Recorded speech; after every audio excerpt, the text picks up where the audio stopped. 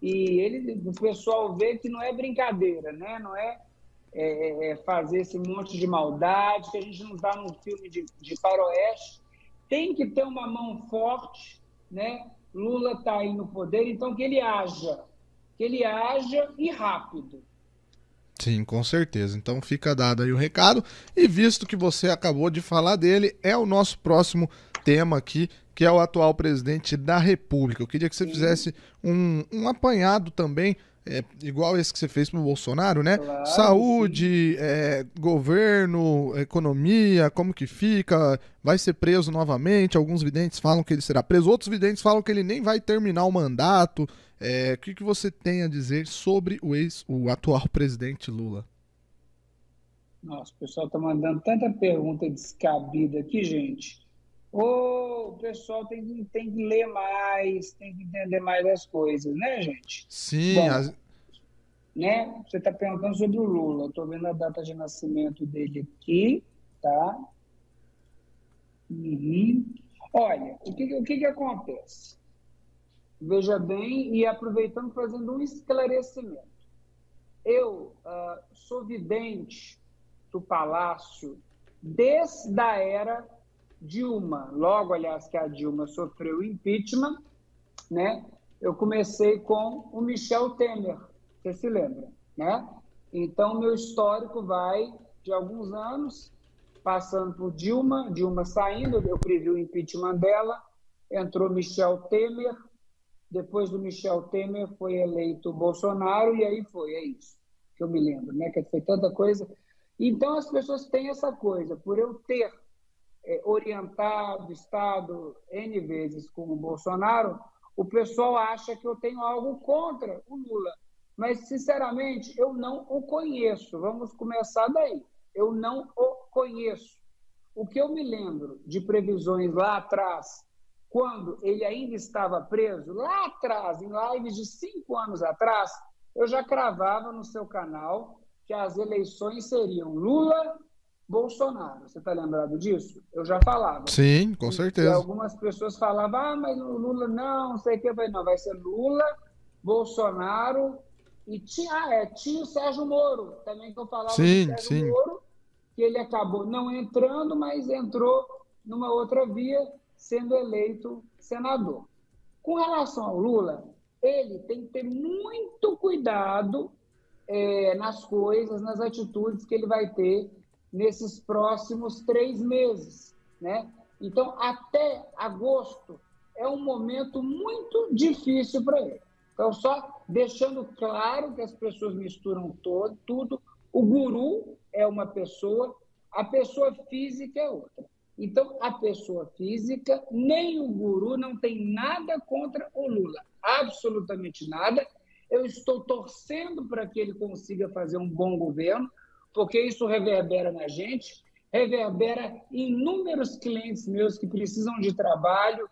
Então, quer dizer, as pessoas têm essa, essa, essa coisa de achar, porque eu estava, entre aspas, lá no palácio, que eu, que eu tenho algo contra o Lula. Eu não tenho, tá? Não, Deixando e outra coisa também, ficar odiando as pessoas só atrai não, coisa ruim, né? Odiando e outra. Um terceiro ponto. Eu sou, faço previsões para todos que me procuram. Os únicos que eu não atendo são assassinos, pedófilos e esses maníacos aí. Não me procurem. Mas eu não tenho nenhum tipo de preconceito de, de nada na minha vida, ok? Então, isso aí é um ponto a ser falado. Agora, com relação ao Lula, ele tem que cuidar muito da saúde dele. Cadê meu calendário? Janeiro, fevereiro, março, abril, maio, junho, julho, agosto, setembro. Até setembro, se ele não se cuidar, ele vai ter sim um problema muito sério na saúde dele, que pode mudar de forma completa o governo dele. Essa é uma previsão que já foi feita lá atrás por mim, né? Mas eu vejo ele até em, tentando, mesmo, eu digo até, porque o problema não é o Lula, é as pessoas que estão ao redor dele é as pessoas que estão é, é, falando com ele. Então, quer dizer, o problema é muito mais o ao redor dele do que qualquer outra informação. Então, como eu disse, eu ainda não o conheço, tá? Mas ele, dentro das minhas previsões, ele vai ter um problema sério de saúde que pode mudar tudo. Torcemos para que isso não ocorra. A gente não deseja doença nunca para ninguém, porque isso bate e volta. Mas no mapa está falando para ele ter muito cuidado com a saúde. Essa é a previsão dele. Mas ele sim, ah, quando ele voltar dessa viagem à China, que ele vai inclusive com o Rodrigo Pacheco e outros, ele vai voltar com grandes ideias. Mas vai ser muito complicado ele colocar tudo isso em andamento. Infelizmente, é uma previsão. A gente deseja que dê certo, mas é muito problemático o que vem aí pela frente em relação ao Lula. Muito problemático. É como se ele quisesse governar e outras pessoas não deixassem. Então, assim, a gente ora por ele, a gente ora pelo Brasil para que tudo ocorra, mas não tem nada além disso.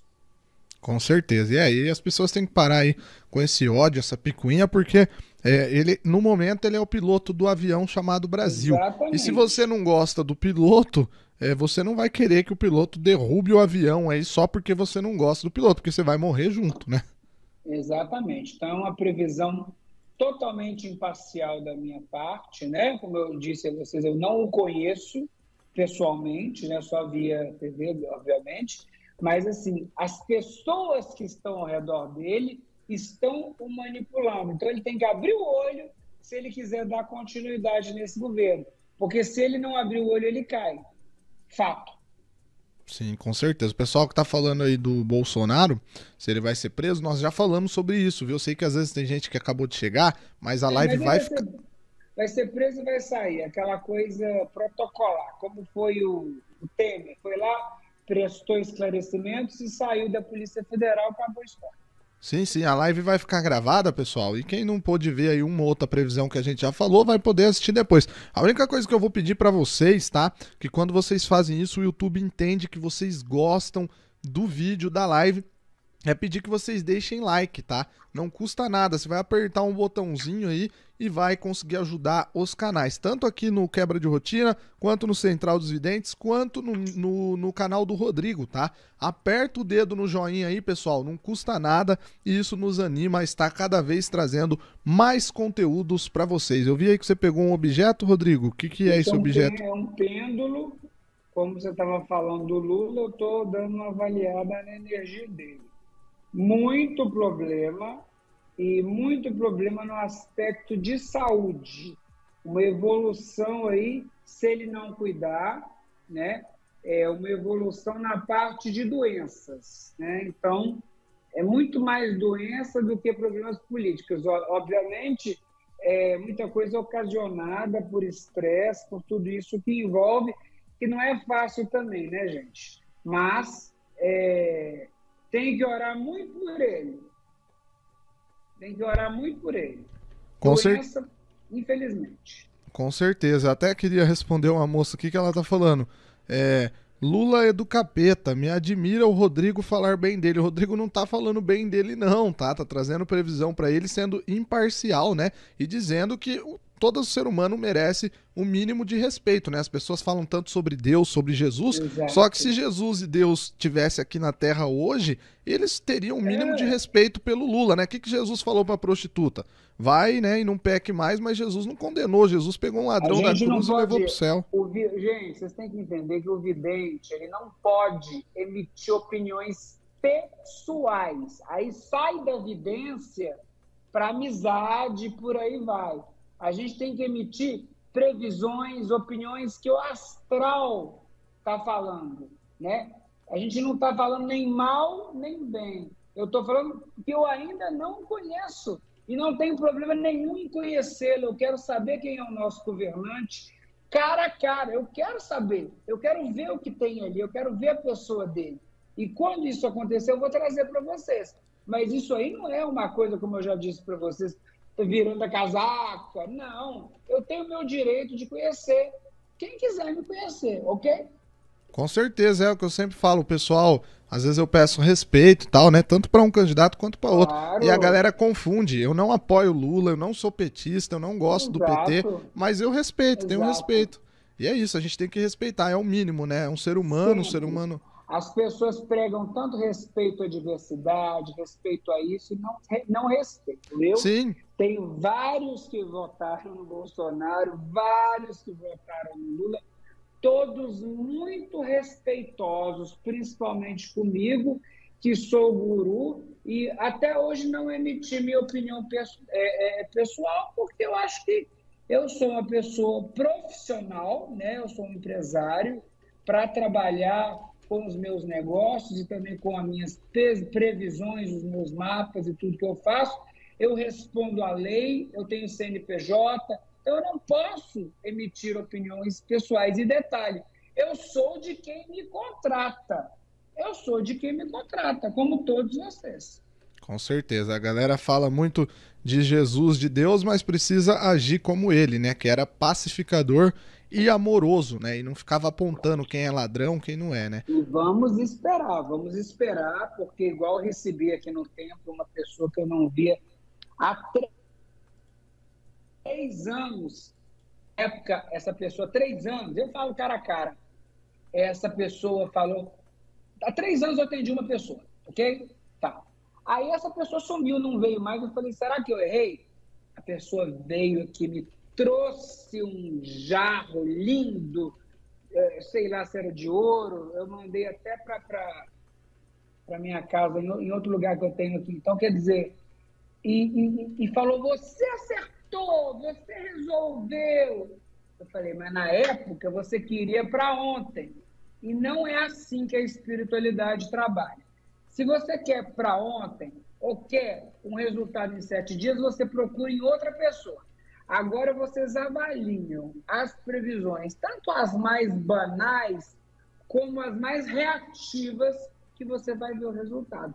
Mas é tempo, porque a espiritualidade pede isso. Nesse caso, essa cliente queria uma grande graça e não saía nunca. Saiu depois de três anos.